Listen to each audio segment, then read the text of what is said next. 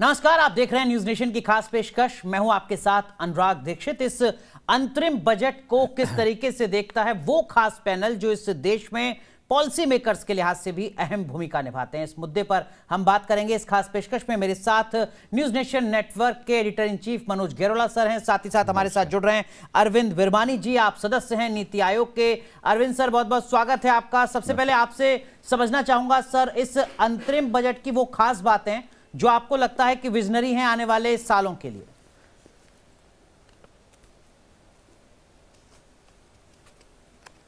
देखिए बेसिकली जो प्रधानमंत्री का कहना है उसको, उसका दृश्य उस पर डिटेल दिया है। वो है सबके साथ सबका साथ, सबका विकास, सबका विश्वास, सबका प्रयास। तो उसको हम इकोनॉमिस्ट अर्थशास्त्री अंग्रेज़ी में कहते हैं sustained fast inclusive growth and development तो ये संक्षिप्त में इसको ऐसे डिस्क्राइब कर सकते हैं वित्त मंत्री और प्रधानमंत्री का मैसेज है। तो इसमें तीन मेजर पार्ट्स हैं जिसको मैं जल्दी से बता दूँगा फिर आगे आप एक्सप्लोर कर सकते हैं। तो एक है कि ओवरऑल जिसको कहते हैं macro environment for growth investment वगैरह वो क्रिएट करनी through structural reforms continuous reforms जैसे वित्त मंत्री ने कहा रिफॉर्म परफॉर्म ट्रांसफॉर्म तो uh, एक तो ये है कि हमने ये ये रिफॉर्म्स किए हैं जिससे अच्छी इन्वेस्ट हुई इन्वेस्टमेंट हुई है अच्छी ग्रोथ हुई है बड़े मुश्किल टाइमों से ग्लोबल बहुत सारे शॉक्स आए हैं फिर भी हम फास्टेस्ट ग्रोइंग मेजर इकोनॉमी हैं। तो ये स्ट्रक्चरल रिफॉर्म्स किए हैं और ये रिफॉर्म्स हम करते रहेंगे ताकि इकोनॉमी और आगे बढ़े। तो एक इसका ये है पार्ट दूसरा है जिसको कह सकते हैं अंत्योदय एम्पावरमेंट तो वित्त मंत्री ने बताया कि हम एंटाइटलमेंट से एम्पावरमेंट की तरह तरफ़ जा रहे हैं। और कई एग्जाम्पल्स उसके दिए पीछे और आगे भी ये हम करते रहेंगे। इसका मतलब क्या है? इसका मतलब है कि बेसिक लोगों को कैपेबिलिटीज़ टूल्स एसेट्स इंफॉर्मेशन दी जाए सबको। Across all geographies all groups को सबको हम एम्पावर करेंगे, ताकि उनके पास टूल्स हों। तो अगर आप आपके पास घर नहीं है तो आप और चीज़ों की नहीं सोच सकते तो घर देंगे पर आगे उसके बाद आपको काम अपनी एफर्ट वगैरह से करना होगा एम्पावरमेंट सो ये दूसरा कंपोनेंट है। इसका ओवरऑल जिसको हम सस्टेन्ड फास्ट इंक्लूसिव ग्रोथ कहते हैं। और तीसरा है कि हमारी होलिस्टिक अप्रोच है और प्रैग्मेटिक है क्योंकि कई चीज़ें होती हैं बहुत कॉम्प्लिकेटेड होती हैं। उसका एक उदाहरण है एनर्जी और क्लाइमेट प्रॉब्लम्स तो ग्रीन इकोनॉमी तो ग्रीन इकोनॉमी के कई पार्ट्स होंगे। होलिस्टिक व्यू लेंगे, पर ऑल्सो प्रैग्मेटिक लेंगे, क्योंकि ये बड़ी कॉम्प्लिकेटेड इशू है, इसमें सिंपल नहीं है। तो उसी तरह हम बहुत साल से कह रहे हैं कि हमें इनपुट्स और आउटकम्स के लिए नहीं देखना चाहिए, पर आउटकम्स इनपुट्स एंड आउटपुट्स की जगह आउटकम्स देखने चाहिए। अगेन ये ये कहना आसान है पर इसको इम्प्लीमेंट करना मेजर करना ज़्यादा मुश्किल होता है पर हम एफर्ट करेंगे। सो होलिस्टिक अप्रोच और प्रैग्मेटिक अप्रोच तो ये तीनों मैसेज उन्होंने रिपीटेडली दोहराए हैं उसके एग्ज़ाम्पल दिए कि क्या क्या किया है और थोड़ा सा दृश्य दिया है कि हम हाउसिंग पे थोड़ा ज़्यादा करेंगे महिलाओं के लिए क्या करेंगे इतना किया है करेंगे। यूथ के लिए क्या क्या किया है? और एक और चीज़ कहूँगा जो इम्पोर्टेंट है वो कहीं पे सब जगह फिट होती है कि रिसर्च एंड डेवलपमेंट स्टार्टअप्स तो मॉडर्न इकोनॉमी तो हमारे यूथ को खाली जो सदियों से सोच रहे हैं कि ये काम अच्छा है ये बुरा है हमें प्रधानमंत्री ने कहा कि अपॉर्चुनिटीज़ देखनी पड़ेंगी। कई नई अपॉर्चुनिटीज़ आएँगी उनको ग्रैप करना होगा और उसका उदाहरण यही है कि R and D future technologies वगैरह। डॉक्टर तो लेकिन इस बीच लोगों के जहन में जो ज़्यादा सवाल था वो ये था कि देखिए दो महीने बाद चुनाव है कुछ पॉपुलिस्ट घोषणाएँ होनी चाहिए थी इनकम टैक्स में कुछ रियायतें मिल सकती थी किसान सम्मान निधि में जो छह हज़ार रुपए का अमाउंट है वो बढ़कर आठ हज़ार रुपए हो जाना चाहिए था। आ, कुछ डायरेक्ट बेनिफिट ट्रांसफ़र के लिए कुछ और नए प्रोग्राम्स लॉन्च हो जाने चाहिए थे। वो सब कुछ नहीं नज़र आया पॉपुलिस्ट बजट नज़र नहीं आया।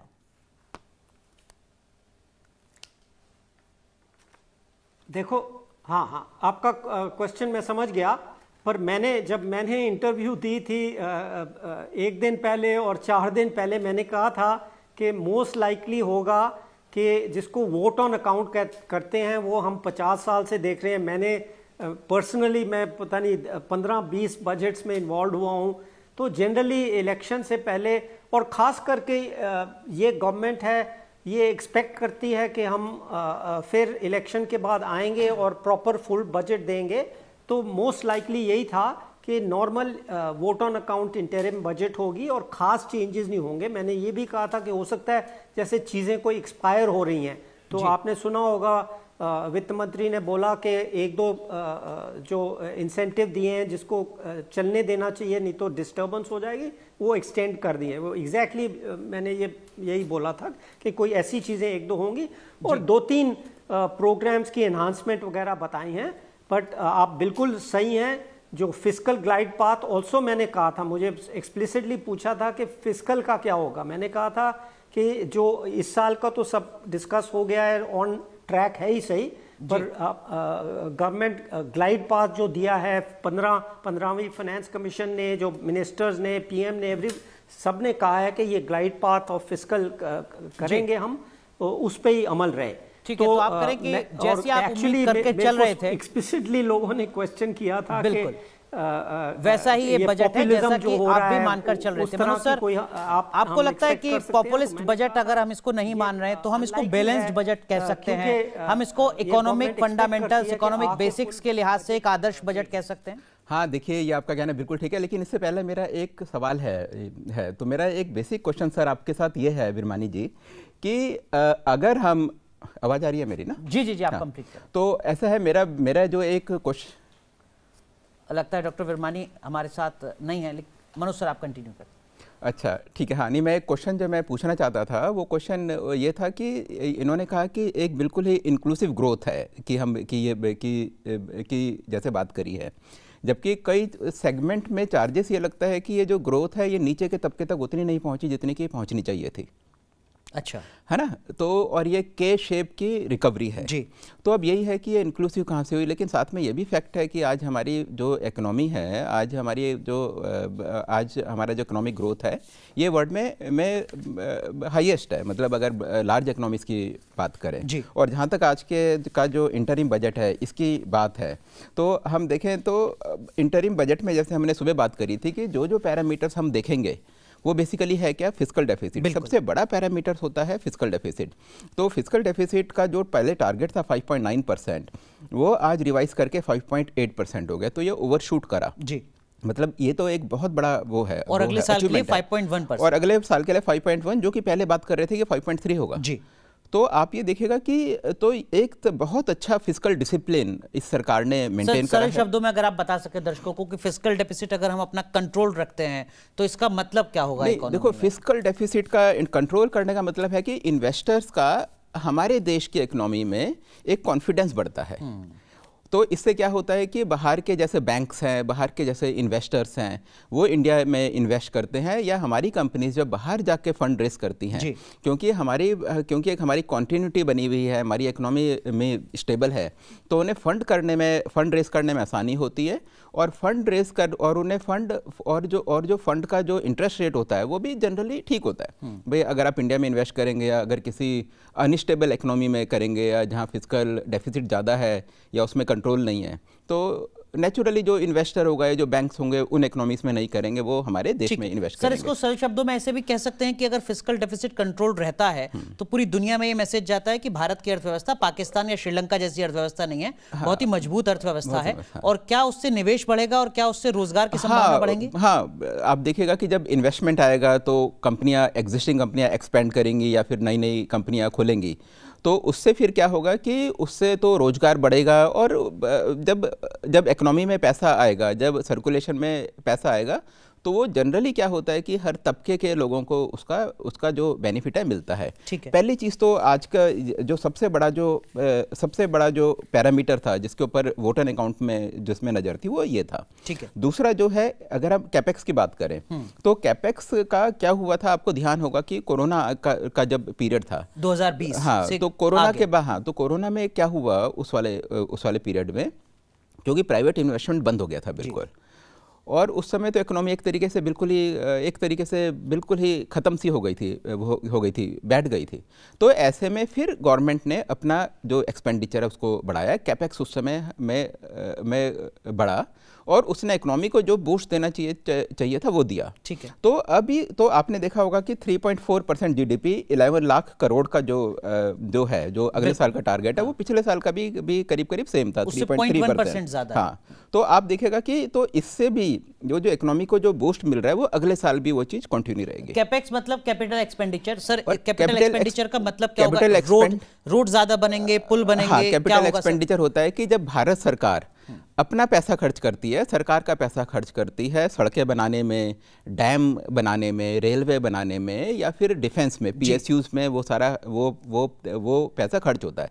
जनरली जब ये पैसा खर्च होता है तो उसमें लोगों को रोज़गार ज़्यादा मिलता है और इकोनॉमी को एक बहुत बड़ा बूस्ट मिलता है। ठीक है। सर हमारे साथ एक और खास मेहमान जुड़ चुके हैं। धीरेन्द्र कुमार जी जुड़ चुके हैं। आप देश के जाने माने मार्केट एक्सपर्ट हैं सीईओ हैं वैल्यू रिसर्च के। धीरेन्द्र सर आप आज के बजट को किस तरीके से आंकते हैं आने वाले वक्त में पॉलिसीज़ के लेवल पर फाइव मिलियन ट्रिलियन की इकोनॉमी के स्तर पर? नहीं मुझे लगता है ये बहुत ही साधारण सा और कंटिन्यूटी प्रोवाइड करने वाला बजट था। ये बल्कि पूरा बजट भी नहीं था। और हमें देखना होगा कि जून में हमारा बजट कैसा आता है, लेकिन बजट से एक चीज़ ज़रूर पता चल गया कि हमारे बजट का स्केल क्या हो, कैसा है। टैक्स टैक्स मोबिलाइजेशन किस तरह से चल रहा है, इकोनॉमी की स्थिति कैसी है, डेफिसिट कैसा है तो बेसिकली हमारे फाइनेंशियल हेल्थ का ये पॉइंटर है। और इससे क्योंकि इस बजट में जो एक आम आदमी की जो उम्मीद होती है कि कहीं पे टैक्स में कटौती होगी, कहीं पे कोई छूट मिलेगा, कहीं पे कोई फ़ायदा होगा, किसी भी तरह का छोटा मोटा फ़ायदा या नुकसान इस बजट में नहीं हुआ है। जी टैक्स में बदलाव होना चाहिए ज़्यादातर लोगों की उम्मीदें थी। क्या आपको लगता है कि वित्त मंत्री ने अंतरिम बजट में टैक्स को लेकर कोई बदलाव ना करने का जो ऐलान किया है यही आइडियल सिचुएशन होनी चाहिए सर इंटरिम बजट से यही उम्मीद की जानी चाहिए? हाँ इंटरिम बजट में तो ये बेसिकली सरकार को सॉल्वेंसी प्रोवाइड करने के लिए इंतज़ाम है। इसलिए इसको शॉर्ट टर्म देखना चाहिए लेकिन आ, कुछ लोगों की ज़रूरत थी। अगर आप इस अगर टैक्स के तौर पे अगर नहीं देखा जाए कि टैक्स की कुछ छूट कुछ मिलती लेकिन हमारे सिस्टम में बहुत तरीके के अनोमलीज हैं और बहुत सारी चीज़ें महँगाई दर से जैसे आपने देखा होगा कि सेक्शन एट्टी सी के तहत आपको डेढ़ लाख रुपए का पुराने सिस्टम टैक्स सिस्टम में जो छूट मिलती है वो साल साल दर साल बदला ही नहीं है। हमारे टैक्स रेट जो है वो महँगाई के हिसाब से बदले ही नहीं है। तो और दूसरा चीज़ की जो हाउसिंग लोन पे जो इंटरेस्ट का जो सीलिंग है कि दो दो लाख रुपए तक आपको उस पर टैक्स सरकार अगर चाहती है कि इंसेंटिवाइज करे लोग मकान खरीदें और चूँकि मकान खरीदना उसका उसका अंडरलाइन ये है कि यहाँ पे बहुत रोज़गार मिलता है लोगों को। जब भी नए मकान बनते हैं तो वहाँ लोगों को बहुत काम मिलता है। और ये सरकार का जो पॉलिसी ऑब्जेक्टिव है जॉब प्रोवाइड करने का वो भी फुलफिल होता है और लोग लेकिन वहाँ पे भी किस तरह की कार्रवाई नहीं हुई। मुझे लगता है कि ये लोगों की उम्मीदें थी और एक और बजट में जो मैं सोचता हूँ कि एक फाइनेंशियल बिल है और यहाँ पे बहुत सारे ग्लिचेस को क्लियर किया जा सकता है। एक बड़ा सा ग्लिच रूर जो रियल स्टेट रेगुलेशन एक्ट आया था लाखों लोगों को मकान नहीं मिला है वहाँ पे किस कुछ कर कुछ कार्रवाई करने की ज़रूरत थी। जी। धीरेन्द्र सर टैक्स के मोर्चे पर मैं आपसे थोड़ा और समझना चाहूँगा। सरकार ने, वित्त मंत्री ने आज अपने बजट भाषण में पिछले 10 साल का जो रिपोर्ट कार्ड है, वो भी सामने रखा, जिसमें सरकार ने कहा कि देखिए, अब जो रिफंड है, वो औसतन 10 दिन में मिल जा रहा है। हमने टैक्स रिफंड के पूरे प्रोसेस को बहुत बेहतर किया है। 10 साल में डायरेक्ट टैक्स कलेक्शन बढ़ा है। रिटर्न फ़ाइल करने वालों की संख्या ढाई गुना लगभग बढ़ चुकी है। साथ ही साथ उन्होंने कहा कि जो टैक्स रिलेटेड प्रोविज़न गैर ज़रूरी थे, उनको खत्म कर दिया है। वो दस हज़ार रुपए का अगर टैक्स बनता है तो उसको माफ़ कर दिया जाएगा। इस तरीके के कुछ ऐलान भी किए हैं। ओवरऑल टैक्स के मोर्चे पर पिछले दस साल के रिपोर्ट कार्ड को आप किस तरीके से आंकते हैं सर? नहीं मुझे लगता है कि वहाँ पे हम लोगों ने बिल्कुल तरक्की की है। अब केवल टैक्स दरों में कमी करने की ज़रूरत है क्योंकि ये जो जीएसटी जो का, का जो बोझ है जीएसटी का जो वज़न है जिस जीएसटी का जो जिस तरह का विस्तार हुआ है हमारे देश में भले ही कम लोग tax direct tax pay income tax pay करते हो पर अगर आप पार्ले जी का भी पाँच रुपए का अगर आप बिस्किट खरीदते हैं तो उस पर भी जीएसटी लगता है। इस उस तरह से भारत में आज जो जिस तरह से जीएसटी का विस्तार हुआ है उसमें ये कहना कि कोई बहुत कम लोग टैक्स पे करते हैं ये गलत होगा। जी। सब लोग टैक्स पे करते हैं और ये अनिवार्य हो गया है इसका एग्जीक्यूशन इम्प्लीमेंटेशन बहुत दमदार है बहुत ज़बरदस्त है और ये अच्छी बात है। लेकिन जो लोग सिलेक्टिव और और जो लोग कंप्लाई करते हैं उनको तो ये सुविधा मिलनी ही चाहिए। पहले स्थिति बहुत खराब थी। यहाँ पे बहुत बहुत और सुविधा की ज़रूरत है। और आ, इन चीज़ों में बिल्कुल एक बदलाव हुआ है। और हमें देखना चाहिए कि हम इसको कैसे एलिमिनेट कर सकते हैं। ठीक है।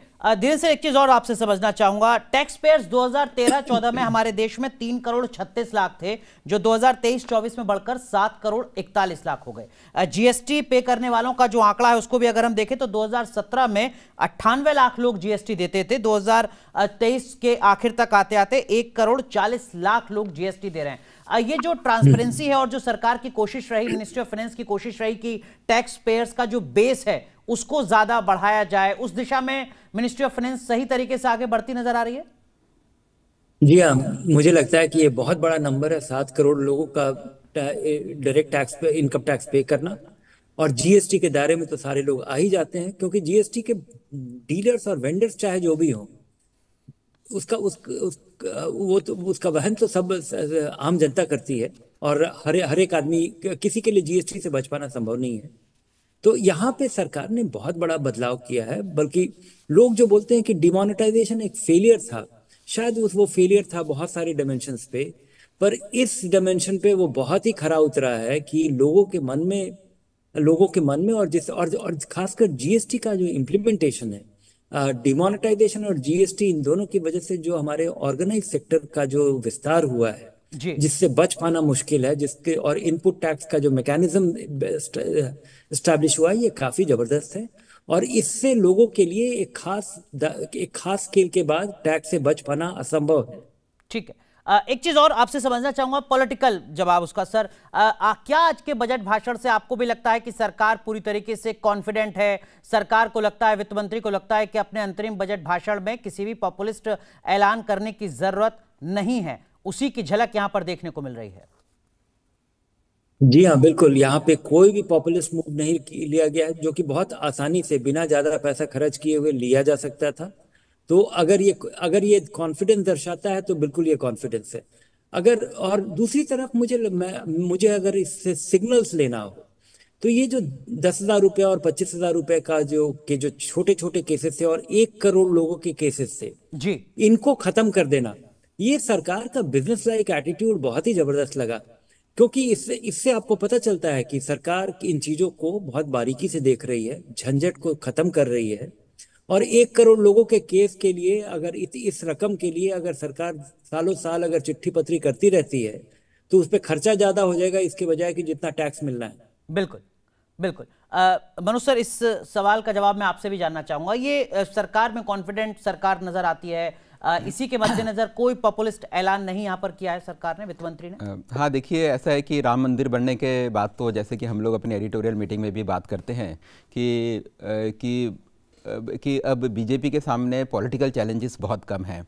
और अगर और अगर अभी हम देखें तो थोड़े दिनों पहले ही बिहार के चीफ मिनिस्टर नीतीश कुमार भी इंडिया अलायंस छोड़कर बीजेपी के साथ आ गए। उसके पीछे एक रीज़न यही है कि उन्हें लगता है कि पॉलिटिकली उनका जो फ्यूचर है वो बीजेपी के साथ काम करने में कहीं ज़्यादा अच्छा है।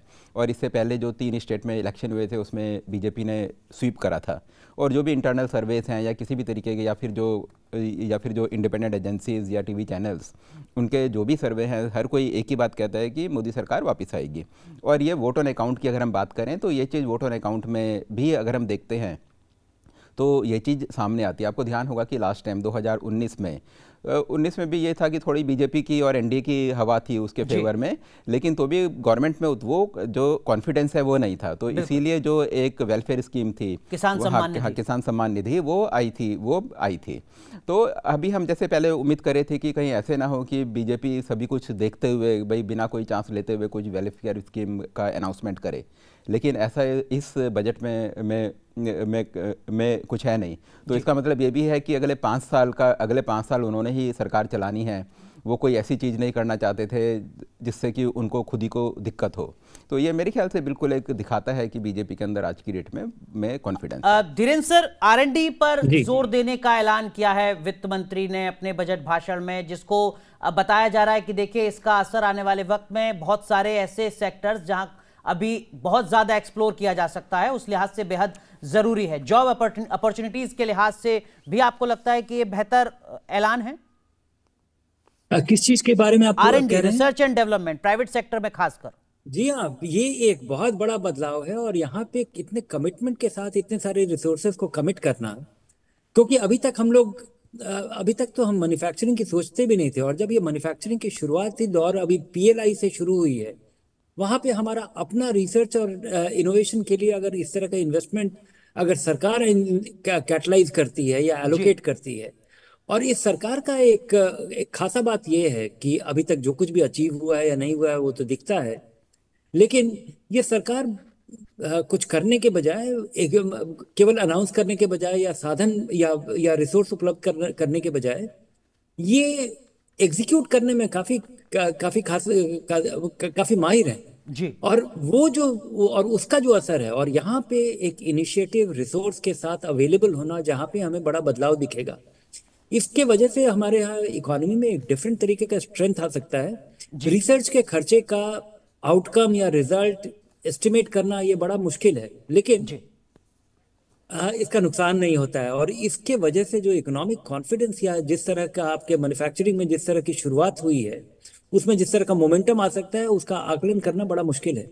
ठीक है। आ, हमारे साथ एक और खास मेहमान जुड़ चुके हैं सचिन चतुर्वेदी जी। आप डीजी हैं आरआईएस के। सचिन सर बहुत स्वागत है आपका।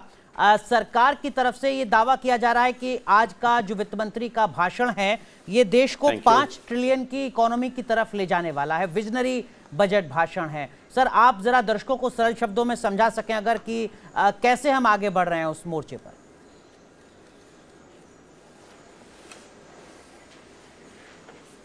देखिए, उसके तीन महत्वपूर्ण अंग हैं। जैसा अभी आप चर्चा कर रहे थे, सबसे पहला किसी भी कंट्री के इकोनॉमिक ग्रोथ के लिए और जो फाइव ट्रिलियन इकोनॉमी की आप बात कर रहे हैं, उस फाइव ट्रिलियन इकोनॉमी में knowledge industry R N D उसका बेसिस हो, ये सबसे ज़्यादा ज़रूरी है।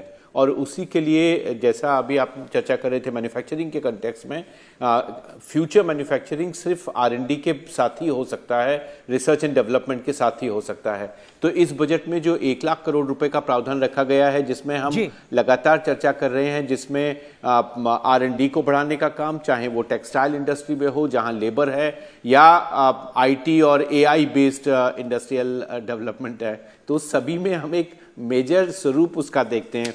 दूसरा इसका महत्वपूर्ण हिस्सा जो मुझे लगता है इकोनॉमी के सामने आने का, वो ज़्यादा करके उन लोगों के लिए है जो फ़िज़िकल प्रूडेंस में विश्वास नहीं करते। तो सरकार की ये कोशिश कि हम फ़िज़िकल प्रूडेंस फ़िज़िकल बैलेंस को रखें। तो जो 5.8 का वित्त मंत्री ने ज़िक्र किया, और अब हमारी कोशिश है कि हम उसको जो हमारा टारगेट 25 26 तक लेके आने का है रेवेन्यू का, उसको हम 4.5 परसेंट पे फ़िज़िकल डेफिसिट को लेकर के आए। तो सबसे पहला जो हमारा भविष्योन्मुखी है जो हमारे इकोनॉमिक प्रोग्रेस में इम्पिटस देने वाला है वो ये एक मेजर आज का अनाउंसमेंट है। दूसरा उसको हमने डिसिप्लिन के साथ किया है। और तीसरा अनुराग जी जो सबसे महत्वपूर्ण बात है वो कैपेक्स को अफेक्ट नहीं होने देना है। आज आप देख रहे हैं कि विश्व में भारत तेज़ी से उभरती हुई अर्थव्यवस्था है। बाकी सबके परसों आईएमएफ ने अपनी रिपोर्ट में एक परसेंट दो परसेंट तीन परसेंट कहा है। भारत का इकोनॉमिक ग्रोथ करीब करीब सेवन परसेंट का आ गया है। तो ये जो सेवन परसेंट इकोनॉमिक ग्रोथ है ये उस समय पे है जब बाकी सबका डेसिलरेशन हुआ है। तो ये जो डेसिलरेशन बाकी लोगों का हुआ है उसके चलते एक महत्वपूर्ण कदम भारत ने आज फिर वित्त मंत्री के माध्यम से उठाया है और हमने कैपेक्स को बिना किसी डिसरप्शन के इस साल भी आ, आ, आगे बढ़ाने का तय करा। जो ग्यारह लाख करोड़ की बात हुई है वो एक अत्यंत इंकरेजिंग फिगर है जो अगर आप देखें पिछले बजट में तो उसकी कल्पना सिर्फ़ दस लाख करोड़ पे की गई थी। Sachin sir capex capital expenditure का जो असर है वो तो लंबे वक्त में दिखता है। आ, कई लोगों के जहन में ये सवाल हो सकता है कि धीरेन्द्र सर इस सवाल का जवाब मैं आपसे भी लेना चाहूँगा। कि आप शॉर्ट टर्म चुनाव से ठीक पहले कुछ बड़े ऐलान कर देते अगर इनकम टैक्स रिबेट का किसानों की सम्मान निधि में कुछ रकम आप बढ़ा देते डीबीटी के ज़रिए कुछ और पैसा आप भेज देते लोगों के खाते में तो शायद उससे आपको चुनाव में फ़ायदा होता। कैपेक्स को बढ़ाने का असर तो रातों रात नहीं दिखेगा सर। आप करेक्ट कीजिएगा मुझे सचिन सर अगर मैं गलत हूँ तो।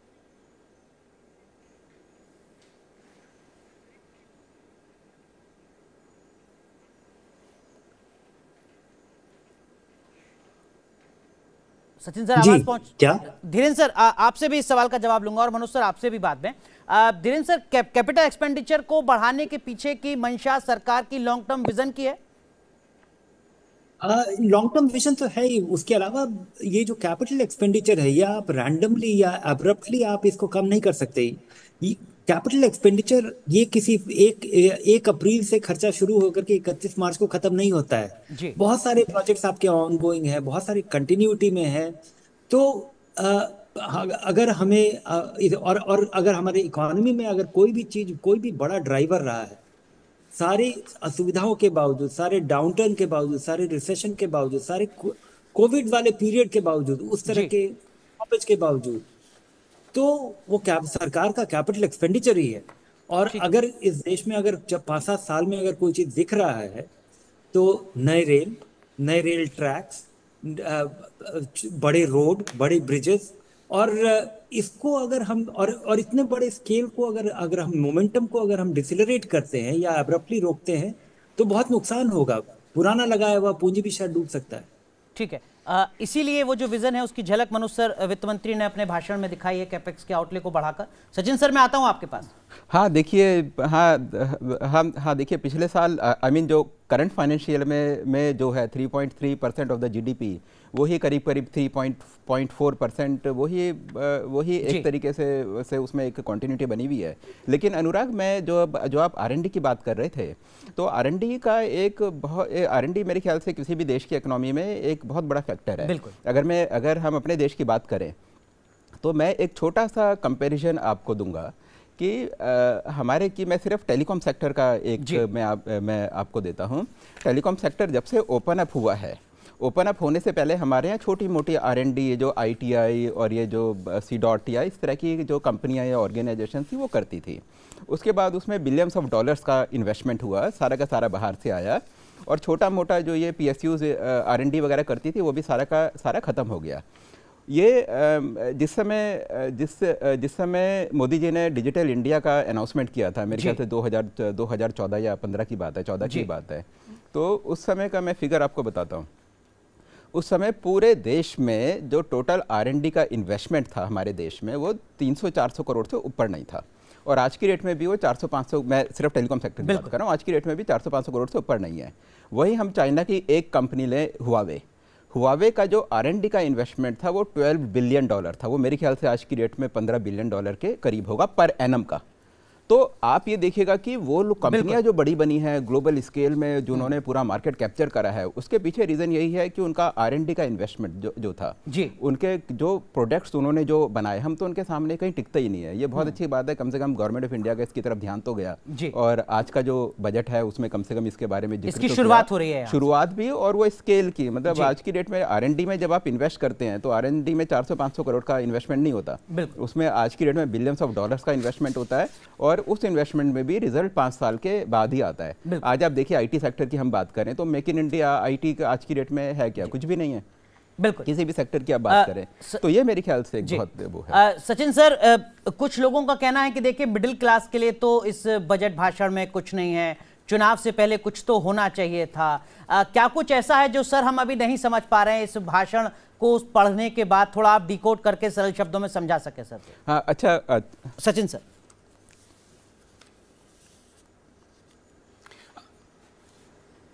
अनुराग जी दो या तीन बातें मुझे लगता है महत्वपूर्ण हैं और अगर पिछली चर्चा को ही अगर हम आगे बढ़ाएँ जिसमें आप इंफ्रास्ट्रक्चर प्रोजेक्ट्स की बात कर रहे थे फिर मैं मिडिल क्लास के ऊपर आता हूँ। अगर आप देखें 2014 से लेके 2022 तक सरकार ने करीब करीब 2000 प्रोजेक्ट्स इंप्लीमेंट किए हैं जो करीब करीब 50 लाख करोड़ की लागत से बने हैं।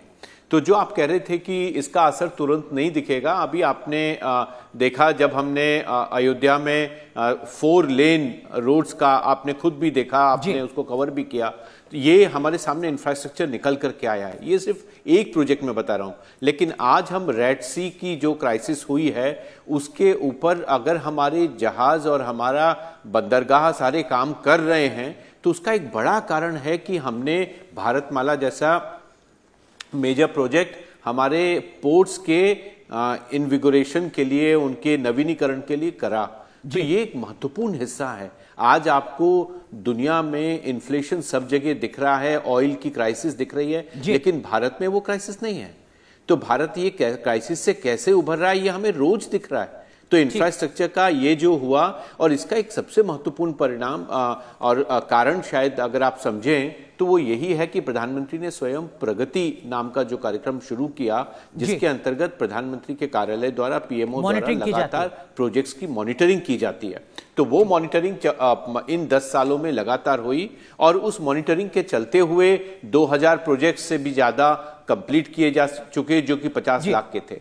अब मैं अगर आपके मिडिल क्लास वाले सवाल के ऊपर आऊँ और आप आ, से आ, ये बातचीत करना चाहें तो अगर आप देखेंगे हाँ आ, कि ये सिर्फ़ मिडिल क्लास में अगर मुझे लगता है कि अगर आप देखें तो तीन तरह के बेहतर उपाय हम लोगों के सामने निकल के आए और वो यूथ के लिए है वीमन के लिए है। दोनों क्षेत्रों में महत्वपूर्ण कड़ियाँ आई हैं जो लखपति दीदियों की जो बात हुई है जिसकी संख्या तेज़ी से बढ़ी है और सरकार ने उसके प्रयास किए।